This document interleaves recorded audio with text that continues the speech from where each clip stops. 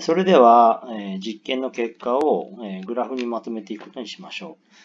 えまず実験の条件、え書いておきましょう。条件は、えまず使った触媒は、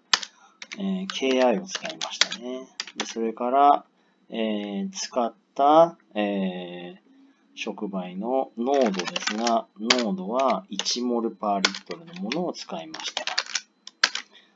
それから、えー、反応温度ですが、温度は20度 C の温度で実験をしました。それから、えー、気圧は 759mm HG で実験をしました。えー、こんなことをちょっと書いておくことにしましょう。これ一応右側に寄せておこうかな。こんな風になっているということです。で、えー、ま、一応温度ですね。これ20度のままでは使いづらくて、えー、これは後で状態方程式に入れますから、これ足すことの、あれ？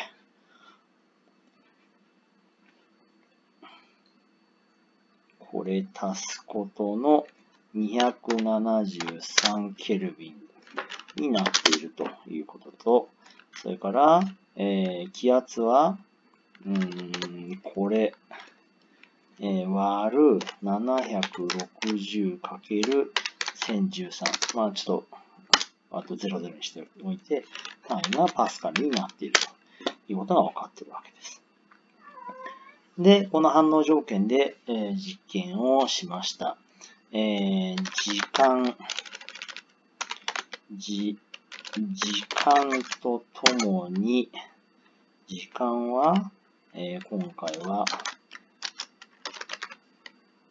分にしておいて、えー、ビュー、ユレットの、ユレットの読みが変化しました。で、これちょっと字が長いので、えー、オルトエンターを押すと開業ができるのでやってみてください。で、ビレットの読みがミリリットルが変化していきました。で、ビレットの読みが変化していくとともに、えー、発生した、えー、酸素の、えー、体積が分かったわけです。オルトエンターで発生した酸素の体積がわかる。で、発生した体酸素の体積が分かったら、発生した酸素の物質量が分かるわけですよね。で、発生した酸素の物質量が分かったら、えー、そこから消費された、消費じゃない、消費された H2O2 の物質量がわかる。で、そうすると、えー、残りの H2O2 の濃度がわかる。で、残りの H2O2 の濃度がわかると、えー、残りの H2O2 の、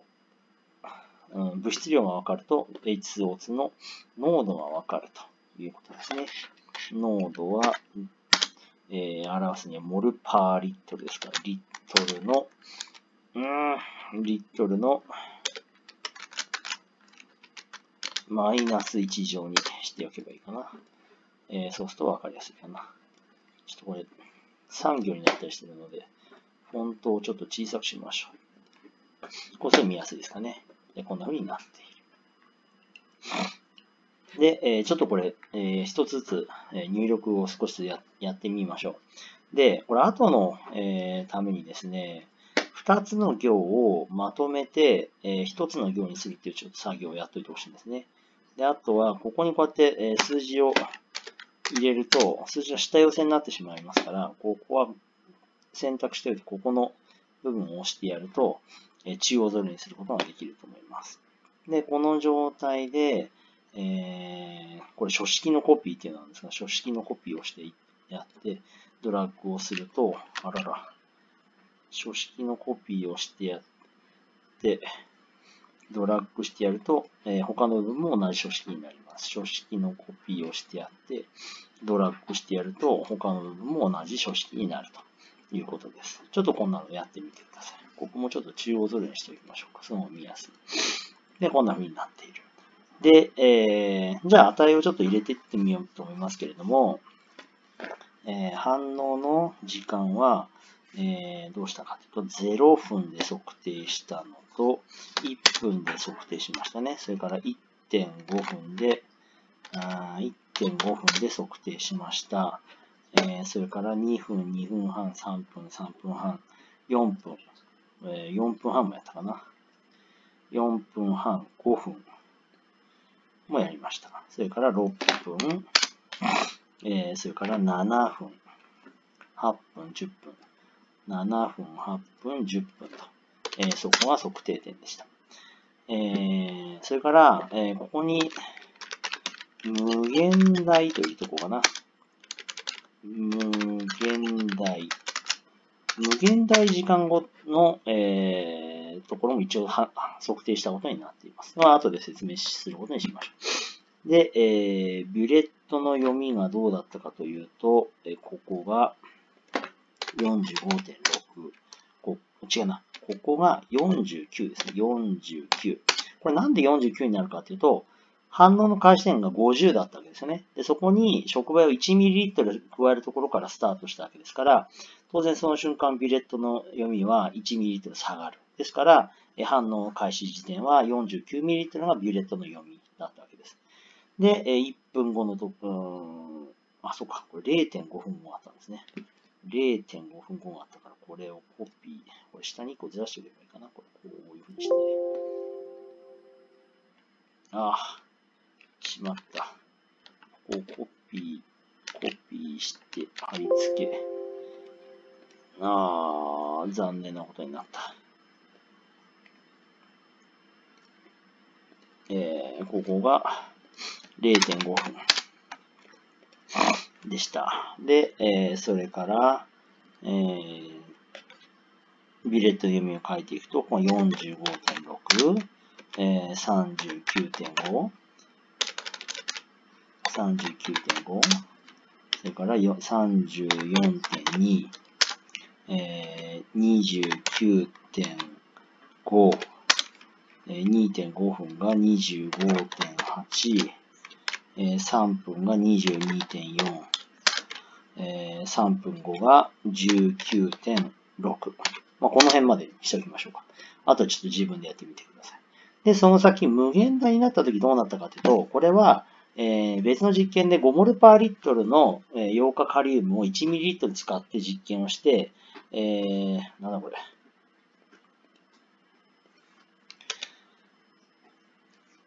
5モルパーリットルの溶化カリウム、非常に濃いものを 1ml 使って実験して十分時間が経った時には、発生量が 2ml になるまで、えー、ビレットの意味が 2ml になるまで実験をしたっていうデータがあったと思います。ですから、ここ無限大のところが2になるわけですよね。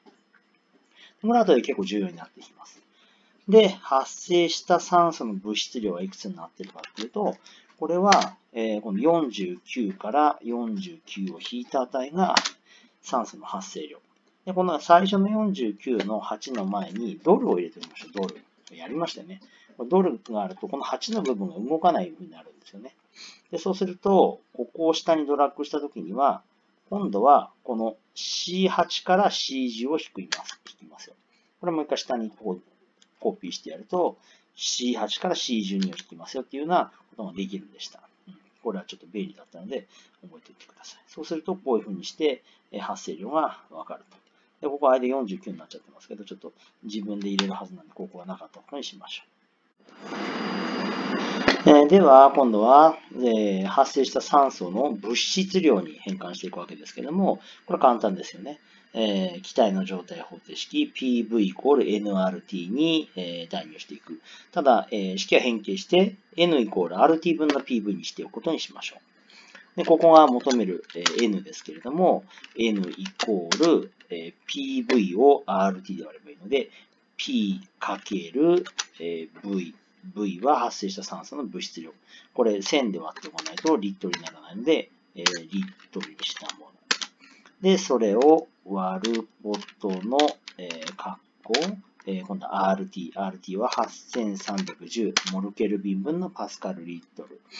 えー、かける絶対温度293ケルビンというふうにします。であとは、また絶対参照しなきゃいけないですね。えー、気圧はいつも 759mm/HG にするので、ここにドル。それから、えー、気温はいつも293ケルビにしなければならないので、ここにドルを入れて、えー、計算させると、こんなものが求まるわけです。で、えー、これを下までドラッグして、えまた途中のところが変な風になってますけれども、えまずこう消しておいて、もうここは自分でやってみてください。で、え今度は消費された、え過酸化水素の物質量ですけれども、ここは、え酸素の物質量の2倍になるわけです。これなんで2倍になるかっていうと、え化学反応式の係数を見ると、酸素の係数が1の時に、過酸化水素の係数が2になってますから、これは過酸化水素の係数の方が2倍になるということです。で、これもこのようにして、もう一回ドラッグしてやれば、こんなことがわかるということです。で、今度は、えそれを濃度に変換して、あ違うか。これが消費された、え過酸化水素の量ですけども、じゃあ、残りの量はどうなのかっていうところなんですが、ここでさっきの無限の、え時間のところが必要なわけです。これ無限大だけ時間が経った時に消費された過酸化水素の量が0.00396モールということですから、もともと過酸化水素水の中に入っていたえ過酸化水素の物質量が0.003906モルなんだっていうふうに言うことができるわけです。これが最初の量で、ここから消費された量を引き算してやれば、それが残りの量ということになるわけですから、今度は、ここですよね。ちょっとおかしな参照の仕方ですけれども、ここの値から引き算することの消費された量というのは残りの量で。またここも、えー、F のドル38にしておいてやらないといつもこの値から引き算することができない。でこれをドラッグしてやると、えー、無限大時間が経った時に晴れて0モルパーリットルになるんですよということがわかるわけ。0モルになるということがわかるわけですね。これ全部なくなっちゃったよということです。で、今度はこれを濃度にすることにしましょう。で、濃度は、えー、今回、えー、過酸化水素の物質量、えー、過酸化水素水の、えー、体積が 5ml。で、それに加えて、えー、触媒を 1ml 加えてるわけですから、全部で、えー、6ml ですよね。えー、6ml の、えー、水溶液を使ったわけです。で、そうだな、ここも、えー、使った体積を 1ml としておきましょうか。1ml としておくと、えー、ここの濃度は、えー、過酸化水素の物質量割ることの体積。で、体積はどうなってるかっていうと、えー、使った過酸化水素の体積足すこの触媒の体積になるわけです。で、それを1000で割ったものが、えー、リットルですから、そのリットルで割る。ですから、ここももう一回、カッコに入れておいてやれば、これが濃度になる。すなわち、えー、最初に作った5%の過酸化水素と、えー、言って言ってたものは、えー、実は0.65モルパーリットルの、えー、過酸化水素水だったってことがわかるわけです。で、えー、これもまた D さんがいつも絶対参照されなければならないので、ドルを入れておくことにしましょう。で、ここなんで1入れたかっていうと、後で二酸化マンガン使った時には、えー、体積は0ですよね。だから、えー、体積0の触媒の時にはこう0にすれば全体の体積が 5ml になるということですから、同じ、えー、グラフを使えるわけです。同じ、えー、データ処理をすることができるわけです。えー、そうすると、無限大の時間が経ったところで、過酸化水素の濃度が0になるということを、えー、仮定しているわけです。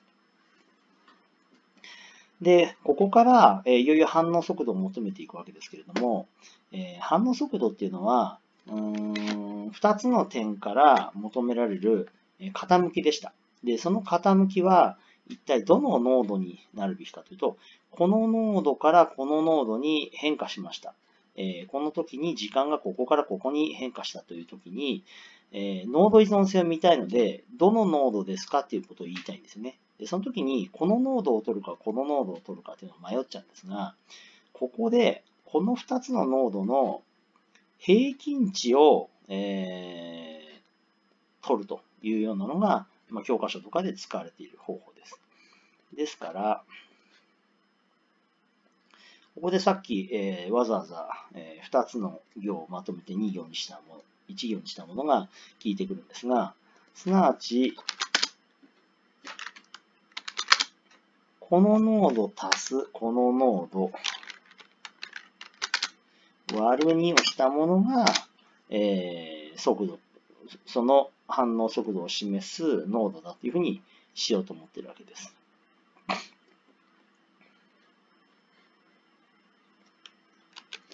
で、そうすると、こういうふうなものになって、ここだから、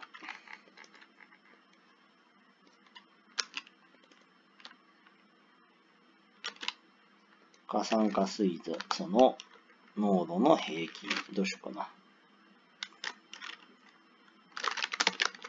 濃度の平均。平均と、そのまま書いておくことにしましょうか。で、そうすると、どうしてかな。ここにオルトエンターを入れておけば、これで少し読みやすいかな。うーん、ちょっとはみ出した。そうか、字が大きいのか。この辺の字も、えー、フォントを揃えて、9ぐらいにしておきましょうか。で、そうすると、多少見やすいですかね。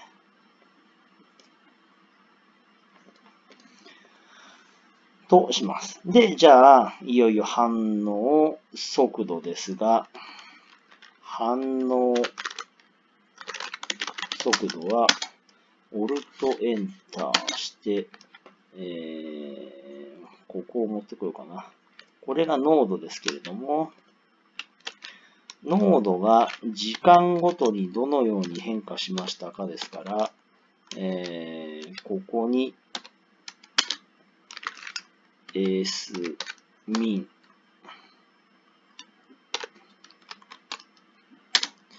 これのマイナス1乗。すなわち、えー、濃度変化が1分ごとにどれぐらいありましたかというのを、ここに書き表すことができるわけです。こんなもんですね。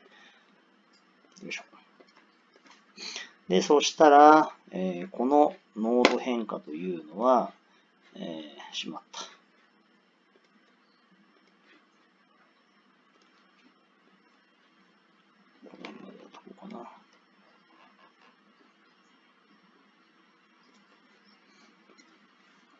となると、濃度変化はイコール、えー、濃度変化を時間変化で割ればいいわけですから、カッコ、濃度変化ですよね。濃度の変化をしまった。濃度の変化割る時間の変化は、ここから、違う、間違えた。ここからここまでというのは時間変化ですね。これをこうやって入れてやるとこんな風に出る。で、そうすると、え、今、反応するのがマイナスになっちゃってますから、これおかしいなということで、ここにマイナスを入れてやると、これを正の数にすることができるというのが講義でもやったところだったと思います。で、えー、こういうふうに、それをまたドラッグしてやれば、反応速度が出るよ。今ここ値が、取るべきものがありませんから、えおかしな風になってますけども、こんな風な値が出るということです。じゃあ、今どのような反応の濃度の時にどのような反応速度になるかっていうのが、えいくつかデータが出てるので、これをもってしてグラフを書いてみることにしましょう。えこれ、ドラッグして挿入、え散布図にしてみると、こんなものが得られる。えなんかここだけちょっとおかしい値になってるんですが、他のとこ見るとなんとなく線になってるような感じがします。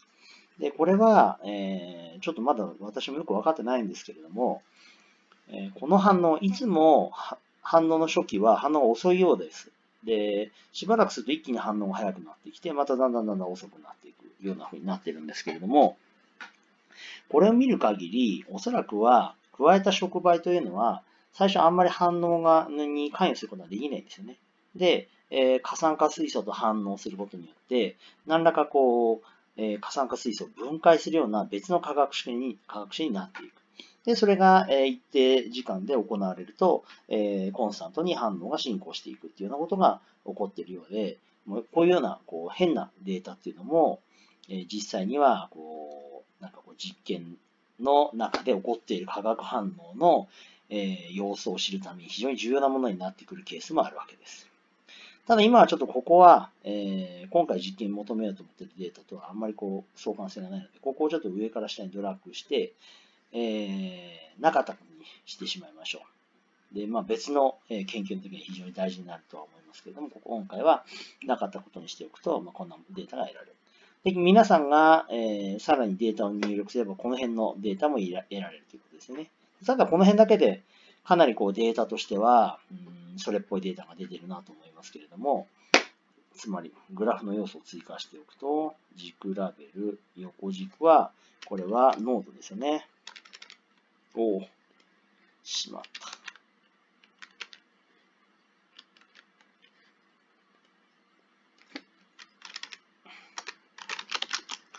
ノードになって、ここが、えー、今度は、ちょっと単位をちょっと今回は勘弁しておいてもらって、グラフのデザイン、で、縦軸が、これが、反応速度。つまり濃度が変化するごとに反応速度がどのように変化するかということをグラフ化することができたわけです。で、えー、これがどのようなグラフになっているかは、まあ、これ見ると、あ普通に考えてこれ直線かなっていう感じがするわけです。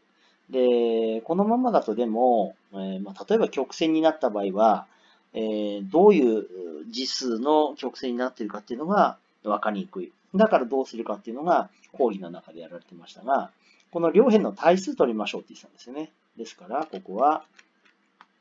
えー、コピーをしておいて、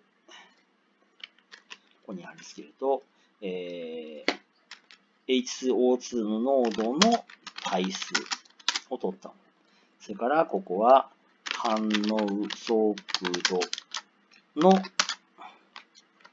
対数を取ったものっていうのを考えていくことにしようと思います。で、これはどうやってやるかというと、Excel ではこの簡単なことで、にイコール、こいつの値の LOG というふうにしておくと、これで、えー、定が10のログを取ることができるんです。で定が10じゃなかった場合は多分自分で調べてほしいですけども、こんなふうに書いておくと、定が10のものを書くことができる。で、えー、これがこういうふうになっていくと、一つのグラフがまた得られるということです。で、この二つを、えー、もってして挿入、えー、散布図にしてみると、こんなようなものが得られる。で、なんだこれ。ここはちょっと一ついらないですね。ここは一ついらないのと、ここも、えー、この下のところデータがないので、えー、これ変なのかな普通はないところなので、これ取っちゃいましょう。そうするとこんなようなものが得られる。で、えー、さらにですね、これ右クリックして、軸の書式設定っていうのをやってみてください。で、ここの、えー、軸のオプション、ここ軸のオプションにしておいて、この単位っていうのをこれ1にしてやると、1つのメモリを1にすることができます。これ何がしたいかっていうと、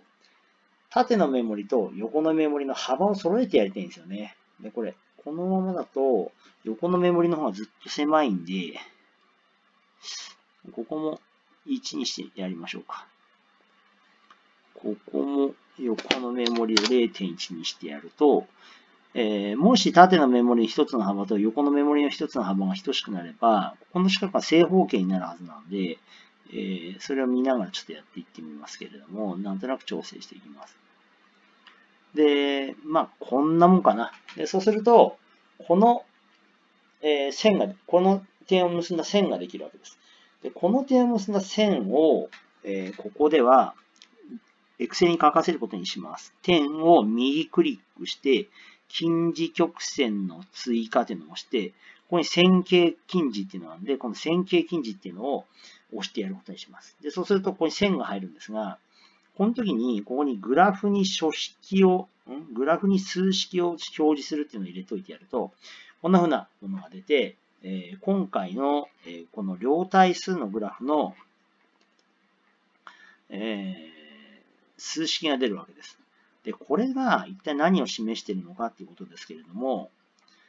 これは講義のところで示しましたが、このグラフの傾き自身が今回の反応の次数を示しているんだということが、えー、言えたわけです。ですから、ここで見る限り、こいつは、えー、係数が1.023、029ですから、かなり係数が1に近いグラフを、えー、書くことができたんだいうことが言えるわけです。そうですね。でですから、もうここまでしかデータ入れてないですが、かなり綺麗なデータが出てるんだということはわかると思います。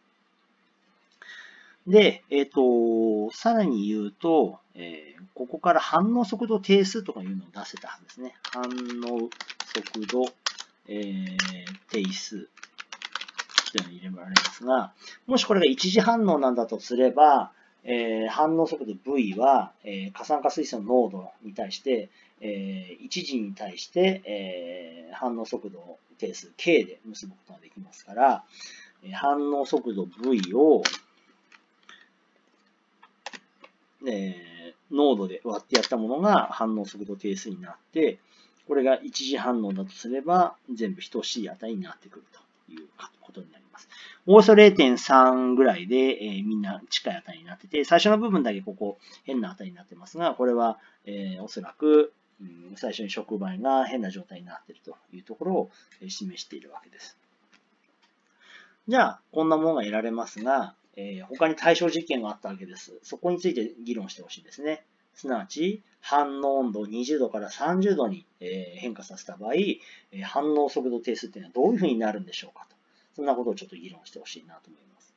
えそれから、え触媒自身を変えたのもやりました。えヨウ化カリウムを、え酸化マンガン4に変えて実験してみたところ、え同じような、え反応速度でもって反応が進行したわけですが、それをしっかりこのようにグラフにした場合、え果たして、えそのグラフというのは、こういうような、え一次式で表すことができるような直線で表すことができるんでしょうか。もし、えー、ここが直線で表すことができないんだったとしたら、それ一体何時の、えー、曲線なのかというのを、えー、両対数のグラフで表現することができるわけです。えー、教科書を見る限り、その答えは一次反応だというふうに言っていますが、えー、果たしてそうでしょうかそれを、えー、教科書にそう書いてあるから一次反応なんだっていうふうに言うのではなく、えー、しっかり客観的なデータを見て、え、客観的に判断し、客観的に議論した上で、えー、一体過酸化水素の分解反応というのは、どのような反応機構で起こっているのか、みたいなところまで、え、思いを馳せることができたら、え、非常に、え、有益だなというふうに思います。以上です。